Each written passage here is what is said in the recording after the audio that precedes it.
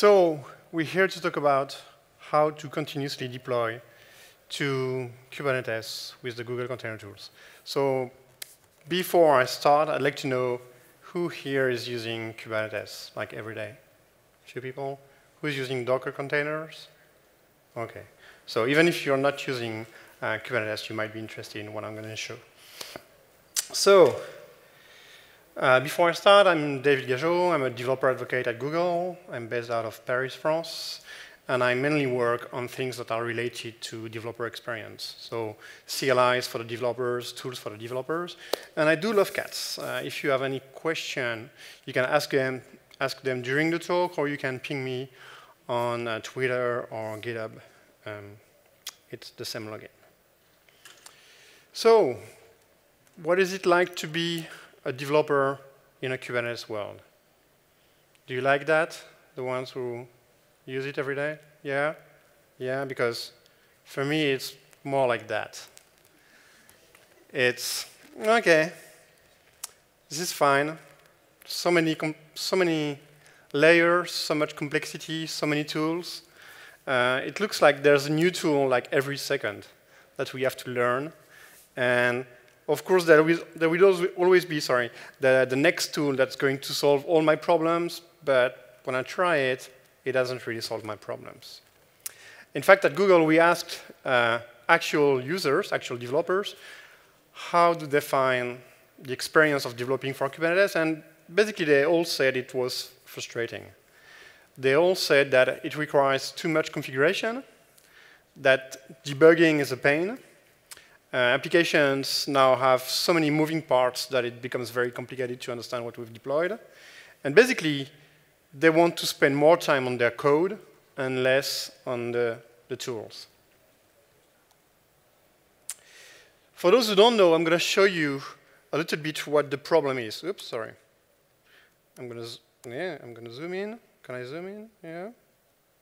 Yeah, I'm going to zoom in. Can you all see the screen? If I mean, there's enough room, so you can like come by me. Okay, so I've got a here. I've got a Go application. So it's not Java. It's a Go application, but it's basically the hello world. It's going to print hello world every second. Usually, if I want to run it without any container, without Kubernetes, I do something like that. Go run main.go, and boom, I've got hello world as shown every second. If I want to run it inside a container, I need to write usually a Docker file. So with this Docker file, I can take the sources from my application, I can build a binary out of it, and I can then run this binary. If I had Java sources, I would build, uh, I would compile the sources, and I could run them with a JVM. But here is, it's Golang, so I'm going to just compile them. So the, the Docker files, it's a recipe to create a Docker container.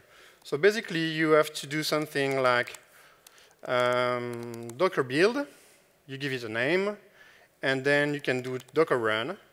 It will give us the same output as the Go run, but this time I can take the Docker image, I can give it to you or you, I can put it in production. It's going to behave the same that on my machine. And then maybe my application grows, and I want to deploy it on Kubernetes.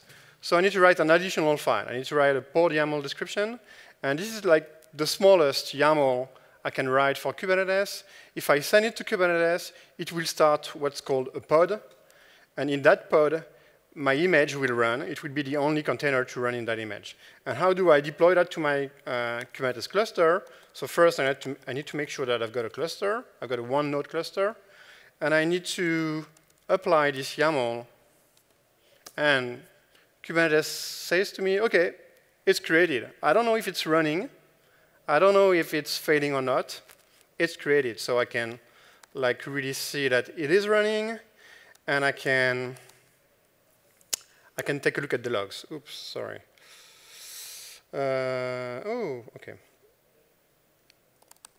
I can take a look at the logs, okay? Hello world. So basically, it was quite easy to take my application, containerize it, and deploy it to Kubernetes. But now I'm a developer, so I need to change my application. I'm going to change it, and I'm going to say, OK, uh, hello, Barcelona. So what do I have to do then? I have to rebuild the Docker image. I'm going to do that. I'm going to give it a new tag because it's a new version. it's going to rebuild my Docker image. So I need to change my YAML file to redeploy my application. So I'm going to switch v1 to v2. And I'm going to apply that again. Oops. And I'm going to see the logs again. Yeah, it worked. But like, it's a lot of commands, okay? A lot of patching everywhere. This is what I call the infinite loop of pain and suffering, okay? You're gonna do, you're gonna do that every day. You're gonna do something similar every day. Because the more you're using Kubernetes, the more you will want to deploy to Kubernetes because Kubernetes is going to give you more features, it's going to be extended, it's going to carry all the authentication or load balancing or things like that, service discovery. And as soon as you use Kubernetes, you will want to deploy more and more often to it. And so you will get into this loop of pain and suffering. So usually people try to solve that with custom bash script or make files. But if you change to a different team, you have to learn all the tools again it's really, there's place for lots of errors here. And this is hello world. So if you have like 20 microservices, how do you deal with the complexity? So this is where the first tool uh, is going to be, this first tool is going to be useful. This tool is Skaffold. Who knows Skaffold? Nobody? Cool. So you're going to discover Skaffold. So Skaffold is a CLI tool. Uh, it's open source. You can find it on GitHub uh, in the Google Container Tools uh, organization. And basically, it gives you very iterative, very fast iterative development for Kubernetes.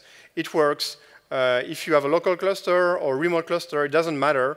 It works with any Kubernetes cluster. It could be on-prem, cloud, it could be Minikube, Docker for Mac, Docker for Windows, OpenShift, whatever. It works with any Kubernetes. So I'm going to show you how to use it. Basically, we're going to start in a folder with the same sources as before. And first, I need to write an additional YAML file. I'm sorry. You're going to have to love YAML files, OK? You're going to have to learn to love YAML files. If you don't like them, I'm sorry. Uh, with Skaffold, you could write this YAML file, or you could ask Skaffold to try to find out the best configuration. So I'm going to use Skaffold init. And Skaffold will look at all my sources, will look at all the Kubernetes manifest, all the Docker files, and try to match them together. So it gives me this configuration here. This is YAML, and says, OK, I discovered only one Docker file, so maybe you have only one artifact, and I discovered only one YAML file. So I think the YAML file is using the image that you're building with Dockerfile. Is that right? Yes, that's right. So now I've got a skaffold.yaml, and I can do things like skaffold build. Not very impressive. It's just that under the hood, what it's going to do is it's going to rebuild your Docker image or maybe your Docker images, like if you have multiple services, and it's going to find a tag automatically. You don't have to think about the tag yourself.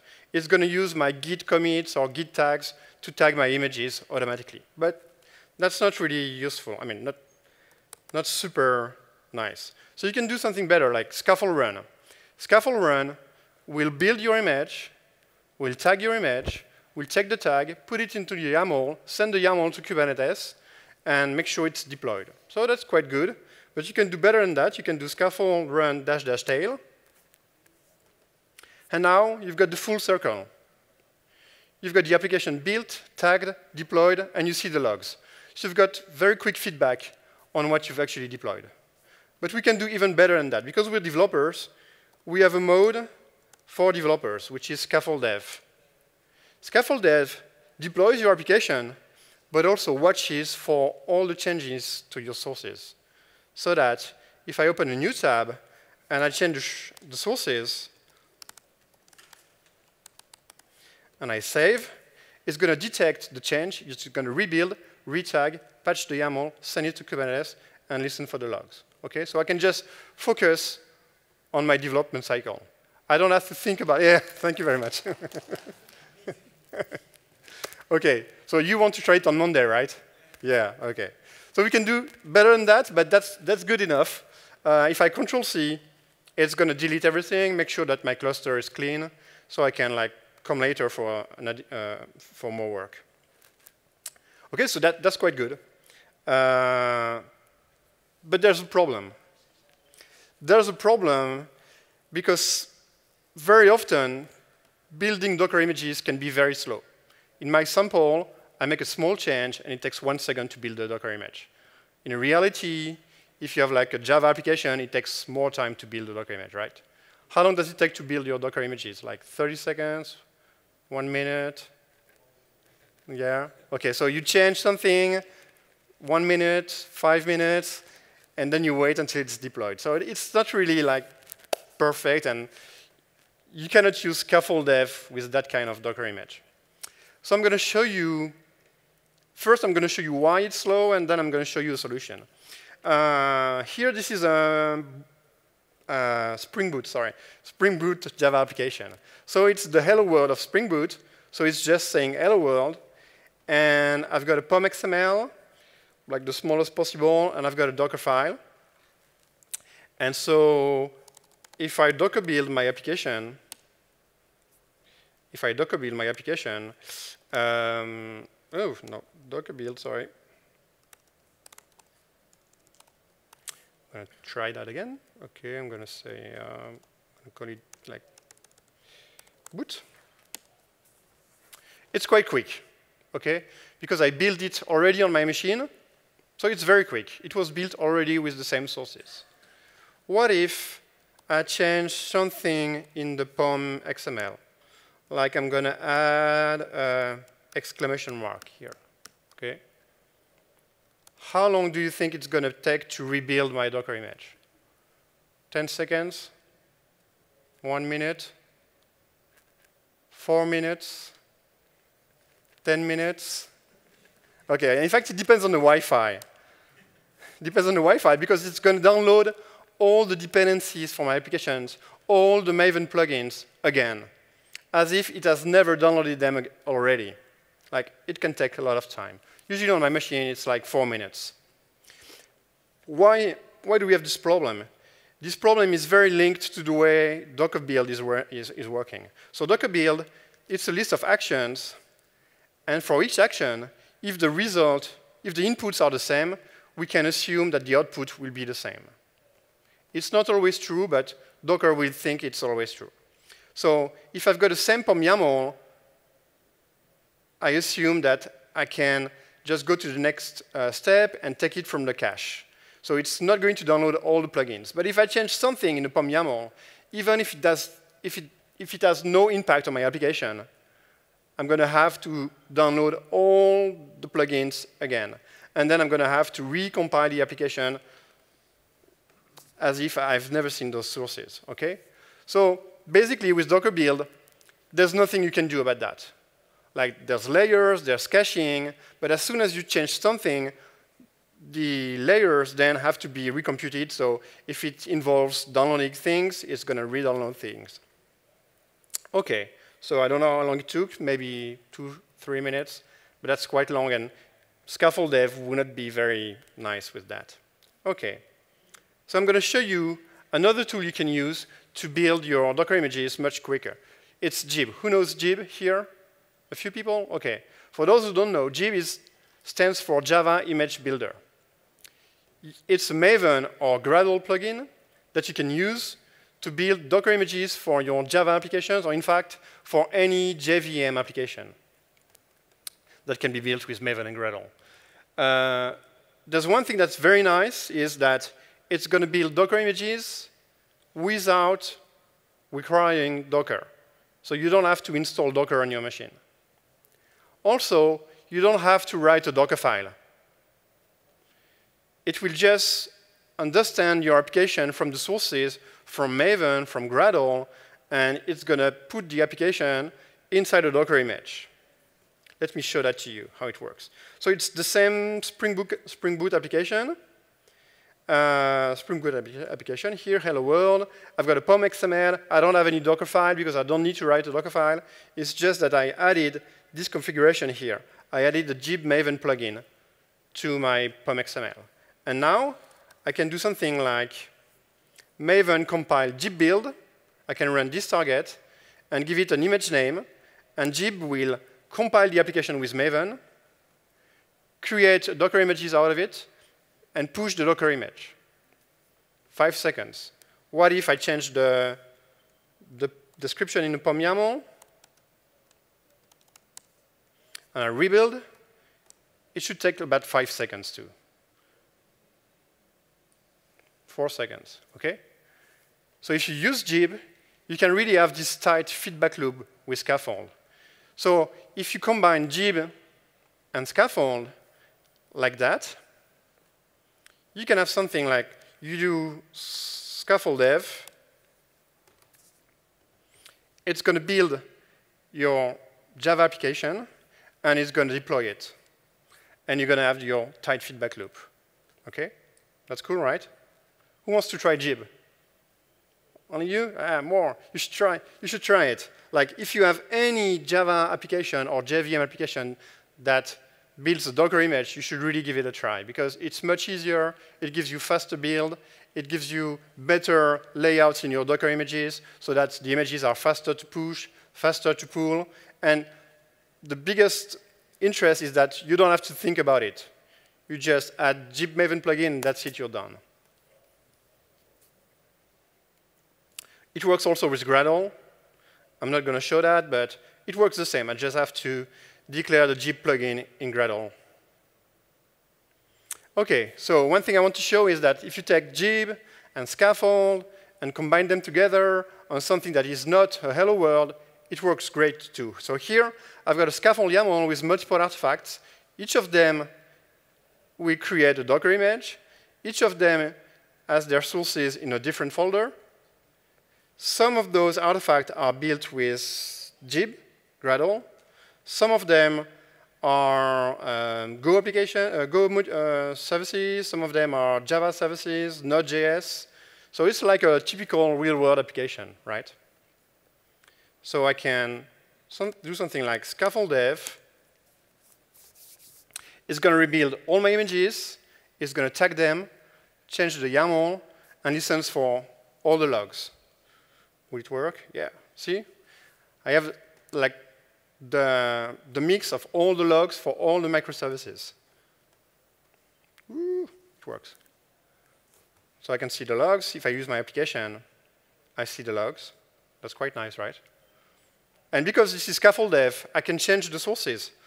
I can do something like, I'm going to change, uh, so this is a Vert.x Java application built with Jib, and it says Google Cloud Quiz. I'm going to do something like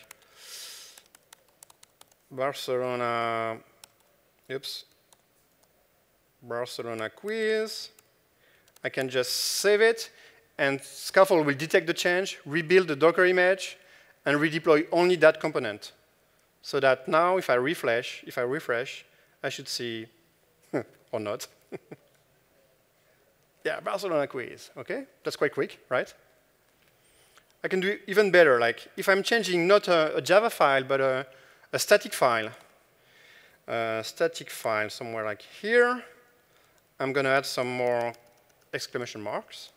I'm gonna, oops, I'm gonna save, and boom, it's even quicker.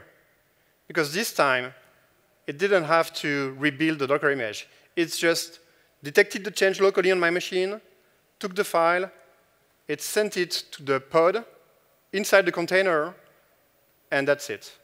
So don't do that in production, but for development, it's very useful. I'm going to do that again. I'm going to edit. Just save. Oh. save. And you can see that Skaffold synced the file to the server. So that's very, very quick, very tight feedback loop.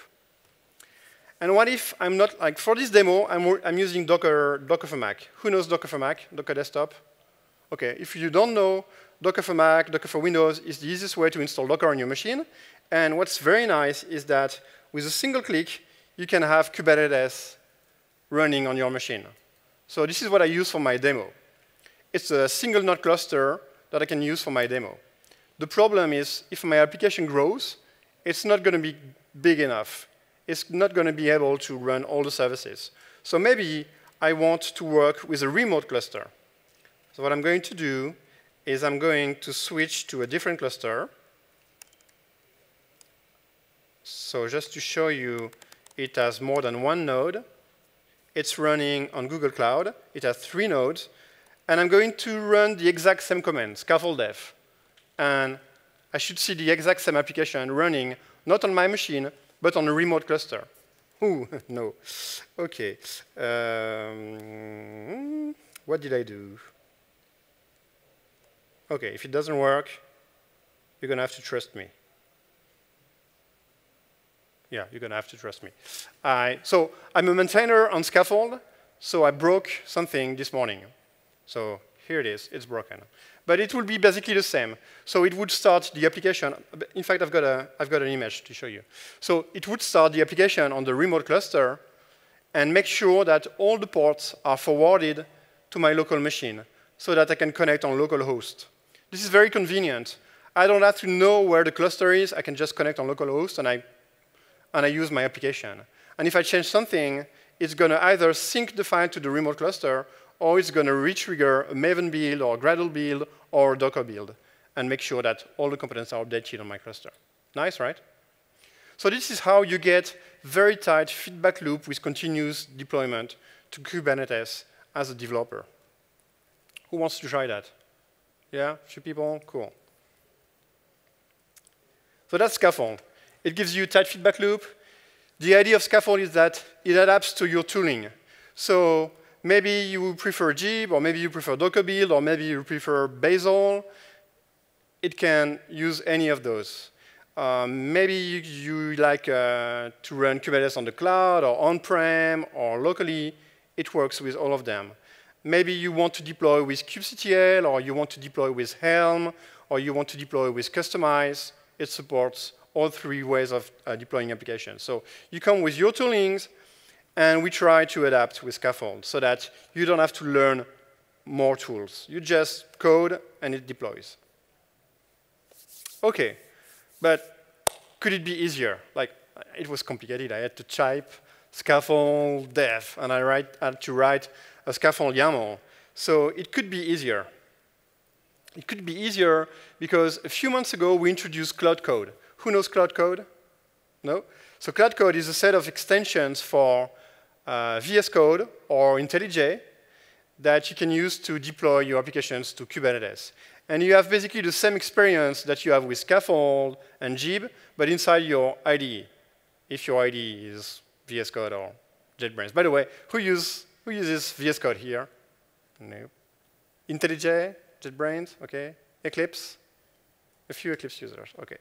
So as long as you're not using Eclipse, you're good with Cloud Code. Sorry. So I'm going to show you Cloud Code for VS Code. This is the one I'm using. I'm mainly a Go developer now, so I use uh, VS Code all the time. Um, I'm going to do something like that.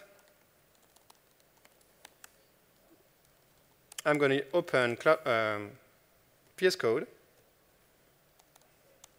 OK, so this is my hexagons uh, project.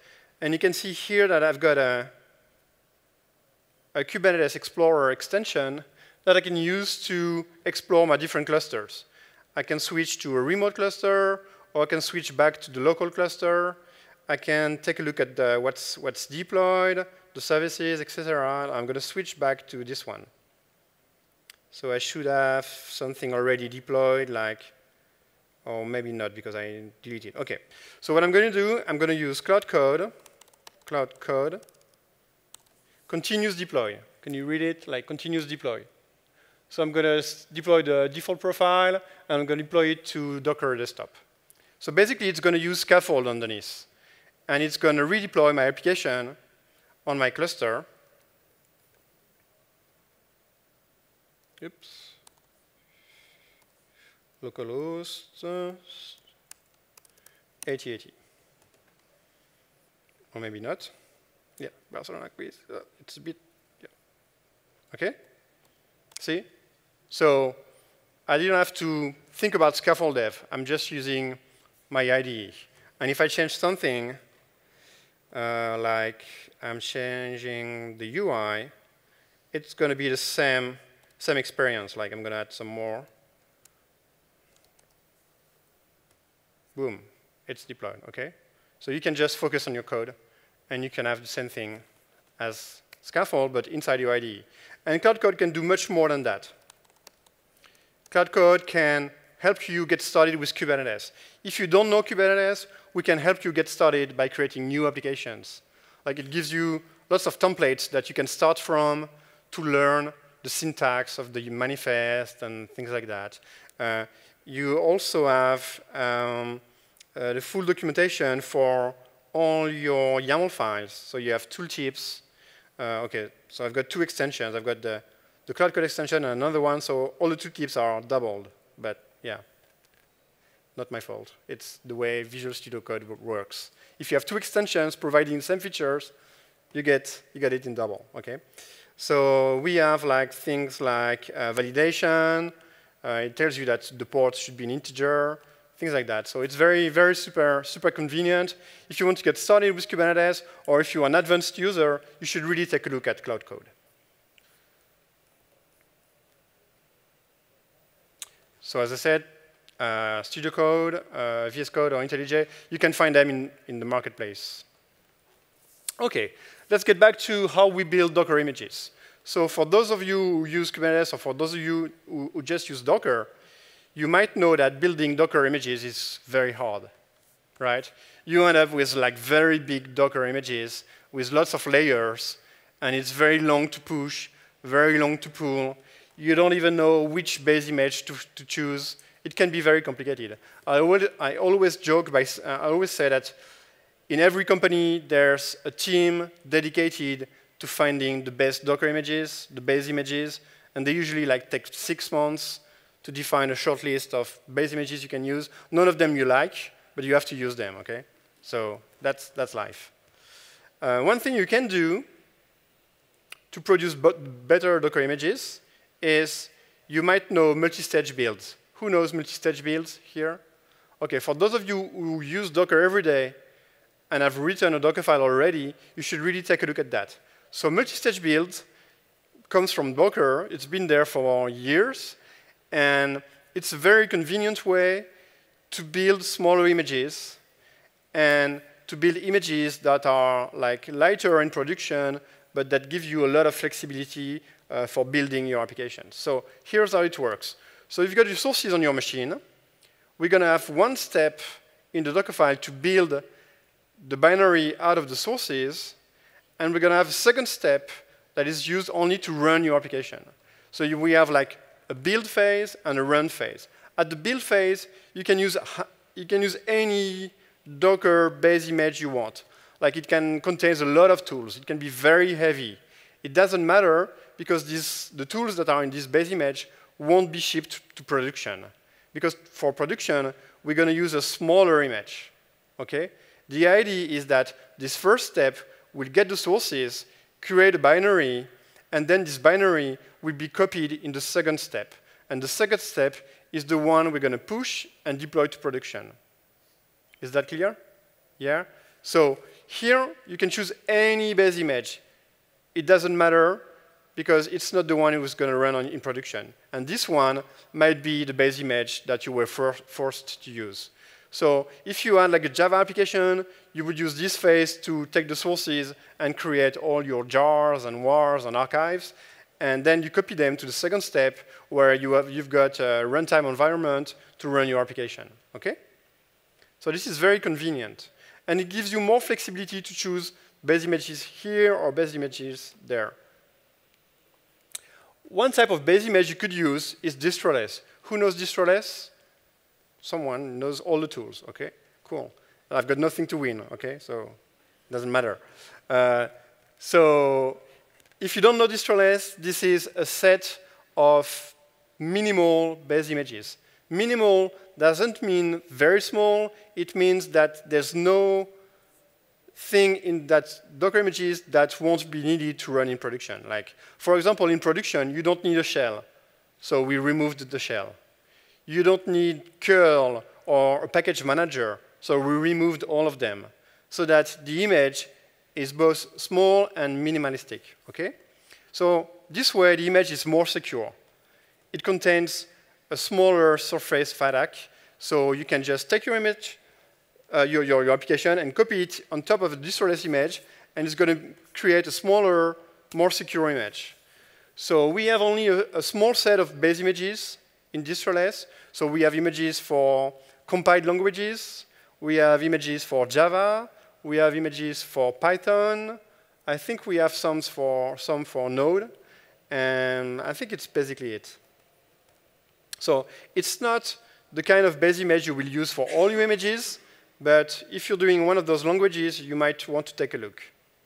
I'm going to show you one example of how to use it with a Go language and one example on how to use it with a Java application. So this is the name of the image, gcr.io slash distroless slash base. You can pull it with a, like Docker pull with a proper syntax. So I'm going to copy paste that. So anybody can pull that, okay? It's a base image. And it contains only the libc, a few libraries to do SSL, and that's it. There's no shell, there's no package manager, there's no things that you won't need in, uh, in production. So how do you switch from a traditional base image to a distroless? It's very simple. Let me show you my Docker file for a Go application.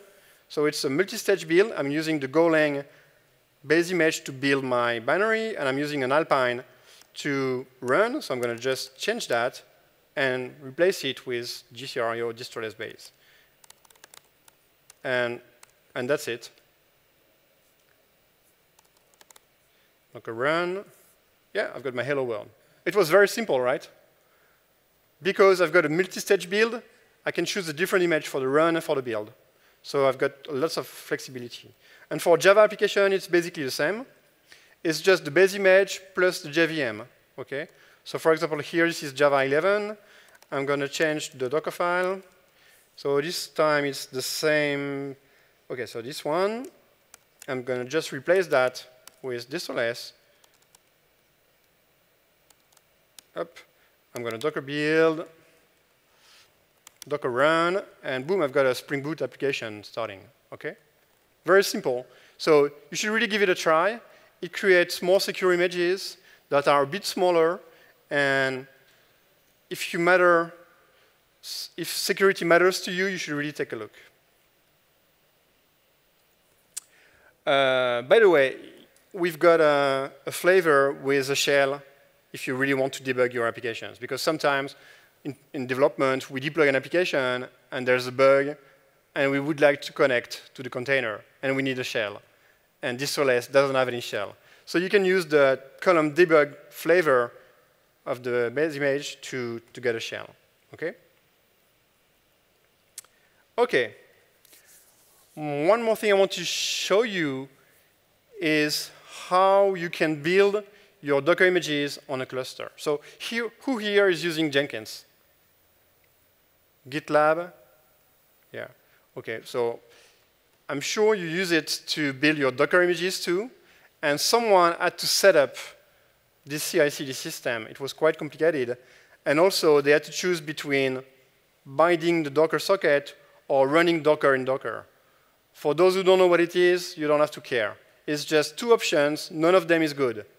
None of them is secure. None of them is fast. Cool. So they had to choose between the two. And this is basically what happens if you try to build Docker images on a cluster. You have to install Docker on every node, and you have to choose if you're going to bind the Docker socket or run Docker in Docker. And maybe in the future, your cluster is going to run on Kubernetes, and underneath, it won't be Docker. It will be something like containerd or something else, and you won't be able to bind the Docker socket. So how do you in the future do to build your Docker images. You can use a tool called Kaniko. Who knows Kaniko here? Nobody? Cool. I like when nobody knows my, ah, you don't know the tool. You don't know. You lost. Sorry, I had something to win. You lost. Oh, I was kidding. So I like when nobody knows the tool because now you can discover them. So Kaniko is a very simple tool that basically does the same thing as Docker build without Docker. It runs inside a container. It doesn't have to be a container running on Docker. It can be a container running on any container runtime. Maybe you don't, maybe you don't care. And Kaniko will take a Docker file, will take your sources, and will create a Docker image. So it's the same as Docker build. It's just that it doesn't come with all the constraints that Docker build has. You don't have to connect to a Docker socket. And Kaniko will automatically push your image to registry. What is nice with Kaniko is that you can run it on Kubernetes. You don't have to install anything on your cluster. You can just talk to your cluster with Kaniko and Skaffold, and it can build your images on a cluster. Like if you have tons of images to build, they're going to build on different nodes in parallel, and it's very quick. Let me show that to you. So here I've got a skaffold YAML, I've got a, my image, and I'm going to ask skaffold to use Kaniko instead of Docker build to use my to, to build my Docker image. Okay, but I still have a Docker file. I still have the sources. The sources are here. Uh, here, there's only one source. Okay, and I can do something like skaffold build, and this time it's going to use Kaniko to build my Docker image. So it's going to be a bit longer because ha it has to take my sources, create an archive, send it to a Kubernetes cluster, make sure that there's a pod somewhere running Kaniko. Kaniko will take the sources, will take the Docker file, and will build a Docker image out of it. And of course, it's failing, or it's so slow. What's going on? It should be quicker than that, usually. Um, what I'm going to do, I'm going to switch to a different cluster. It's going to be better, maybe. Skaffold build. So this time I'm using a remote cluster on the cloud. I'm going to send my sources, send my Docker file, and it should build or not. OK, I'm not lucky today. Yes, it builds. OK. So it's going to do basically the same thing as Docker build. It's going to take more time, but it's going to produce a Docker image at the end. And if for one image it's uh, slower, but if you build a lot of images, or if you share the cluster between a lot of developers, it can be much faster at the end. Okay? So only a few seconds. I'm not going to wait, but it should be done very quickly. So that's Kaniko. Maybe you will never install Kaniko. Maybe you will never use Kaniko. But maybe you're going to use tools like JenkinsX. Who knows JenkinsX? Yeah?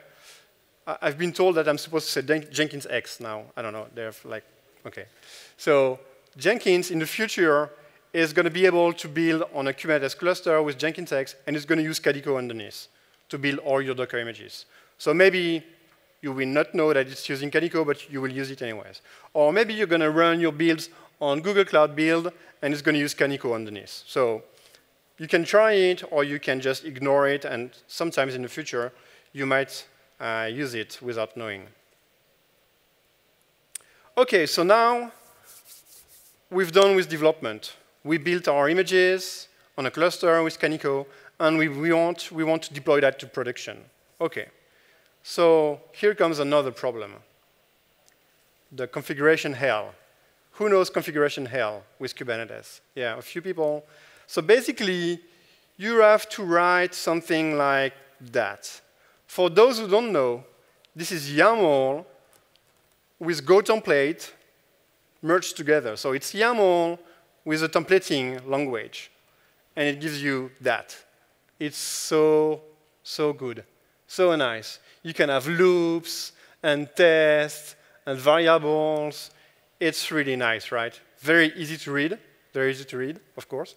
Very easy to maintain, of course, too, yeah? So this is a sample taken from, I think it's Istio, but it's a configuration of Helm. Who knows Helm? Do you use Helm for, to deploy to production, or who uses Helm to deploy to production? No? OK. So one of the reasons you might not use Helm is because the name is very close to hell, OK? Because very quickly, it becomes hell, because you have to configure your YAML files with templates, and it becomes very, very uh, complicated to maintain. If you don't want to use Helm, you have the choice between more than 60 other tools, because that's the way it works in the Kubernetes world. You have 60 different tools that do basically the same. Configuration management to specialize your YAML for a given deployment platform. This is what it does. It takes your YAML, and it will specialize them for a given platform. You've got the choice between more than 60 tools. And the 60, it was like six months ago. So maybe you have now 70 tools, or maybe 80. So that's cool. I'm sure you have a lot of time to try all of them. One tool you can use out of this 80 is Kustomize. Who knows Kustomize? Yeah. Do you use Kustomize? No? so somebody knew, knows, knows it. So Kustomize is a different way of specializing your YAML files for a given environment. It doesn't rely on templates. There's no new language to learn. It's all YAML, plain YAML, okay? You take your YAML files, and you're going to specialize them with what we call patches and overlays. I'm going to show that to you.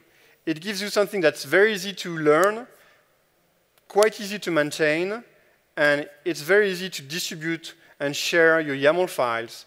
Uh, it's much easier than with templating engine. Let's say you've got this kind of YAML file. So I'm going to call it my base file. It's the one I used in development, okay? And in production, I want to patch world. I want to replace it with production, okay? I want to change a variable, something in production. What I'm going to do is I'm going to write, write a patch file. A patch file is basically the path to the thing I want to patch. So to make sure that I can patch production, I need to give all the parents till the top, okay? This is a patch file. Of course, you can remove the empty lines. You should remove the empty lines, okay? And if I take the base and the patch and use kustomize, it's going to produce a file like this one. So it's basically like templating engine, but without any templates. It's just plain YAML. And I can have one patch that patches a lot of files, a lot of things, or I can have uh, lots of patches that patch only small details, and I can combine those two approaches. It's very nice, very easy to write, very easy to maintain. Let me show you how it works. I'm going to switch back to a local cluster. So here I've got a, my base YAML. Okay, it's the same I showed in the previous step. Here I've got a kustomization.yaml. It just says kustomize, okay, my base setup, so base here, my base setup is to use only this file. But for production, I've got another kustomization.yaml. It's using, it's inheriting from base, but it's going to apply some changes. First, it's going to apply some patches. Okay, so I've got two patches. I've got one here to change this world, and I've got one here to change the image pull policy, okay? So I've gonna, I can have as many patches as I want. And what else can I do? I can also change the namespace. For example, in production, I might want to run everything in a different namespace. So with Helm, I would have to patch all the namespaces in all the YAMLs, put a variable, and then provide a value for that variable. Here, I just have to put the new namespace here. It's, it's going to change all my YAML files. And it can also add some key value labels to all my objects. Let's say in production, I need to put of prod to all my objects. Kustomize can do it for me. I don't have to change my base YAML. I just define the overridden values here, namespace, labels, patches. So if I use the kustomize CLI and give it the folder that contains this customization, is going to give me the merge YAML. Okay? So this is the merge YAML. You can see that it has like labels, it has a namespace now, it has a new image pull policy, it has this variable was patched. Okay? I can give it like, for example, the, um, the base, so this is the base image, and the prod image, this is this one. So very easy to produce one or the other. And I can even combine them with skaffold. I can do something like, uh, is it the next example? Yeah. In skaffold, what I've said is, when you deploy, you use the base, base deployment, but if my cluster is not Docker for desktop, you're going to switch to the prod configuration. Let me show that to you. I'm going to do something like skaffold run in development, it's going to say hello world. Maybe. I hope so. Yeah, hello world.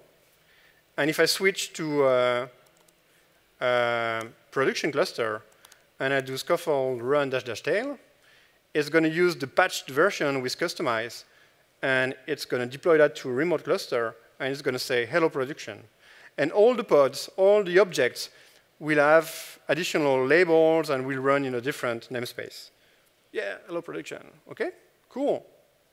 So really, if you want to escape the YAML hell, you can start by using uh, customize. Kustomize is integrated in the new kubectl uh, 1.14. So you don't even have to install kustomize on your machine because it's integrated now in kubectl. So it will become the standard for small, uh, easy deployments, easy uh, customization for environments. It's GitOps friendly, which means that you can store all those YAMLs and patches and overlays to your GitHub repo and send it to a, GitOps bot that's going to redeploy everything on each PR. And you can use kustomize and skaffold each time you make PR. So it's really easy to use with skaffold. Who wants to try kustomize? Yeah? In fact, I've seen a lot of people use it for different things, like just patching YAML files, Sometimes you don't want to patch uh, uh, for production, but you want to patch for uh, other reasons, and it's quite, quite easy to use. So that's basically what I, everything I had to say. So let's do a quick recap. If you want to take a picture, so basically we showed how kustomize can be used to handle the customization for different environments.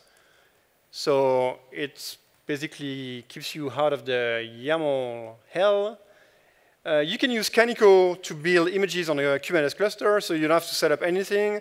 You just have a uh, Kubernetes cluster, you use Kaniko, and you can build your Docker images on it. We've seen how to use Jib to build your JVM applications without installing Docker, without writing a Docker file.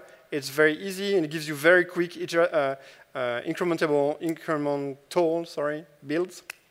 We've seen how to use uh, distro-less to uh, give you more secure images. So it's a set of base images you can use. We've seen Cloud Code that gives you a tight feedback loop inside your favorite IDE, if your IDE is VS Code or IntelliJ. And we've seen Skaffold that basically connects all the dots between all those tools. And if there's one tool you should really try is Skaffold. That's it. So if you have questions, I'm happy to answer your questions. And if we don't have time, you can ping me or send me an email. Um, yeah. That's it.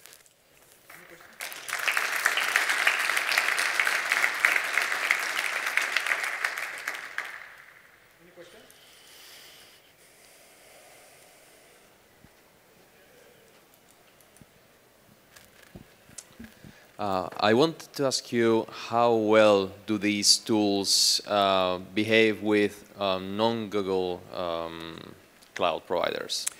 So all the tools, let me make sure what I say is correct. Yeah, all the tools I showed you work with any kube cluster, like whether it's on-prem, whether it's on the cloud, any cloud provider.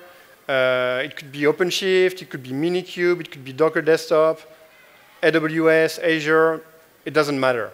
All of them, they use the standard API uh, from Kubernetes, so it doesn't matter. It's really important for us. Like all the tools I showed you, we make, we make sure that they work with any cloud provider. All right, thank you.